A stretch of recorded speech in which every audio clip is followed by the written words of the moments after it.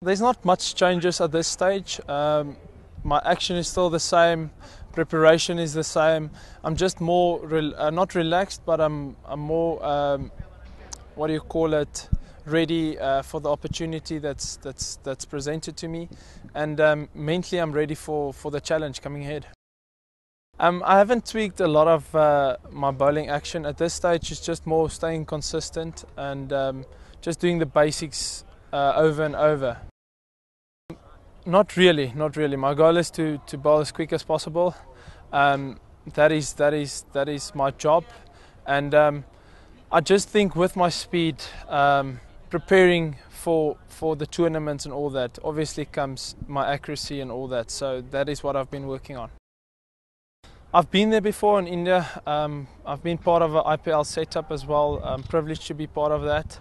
Um, so I know more or less the wickets. It's like you say, it's not really bowlers conducive or in our favour. But you know what?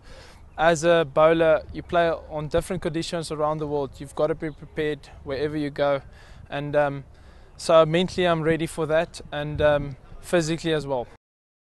Um, it's like you say, humidity. Uh, it's it's really warm in India, but I think most of the players has been there and been part of an IPL, so they know more or less the conditions and the heat in that.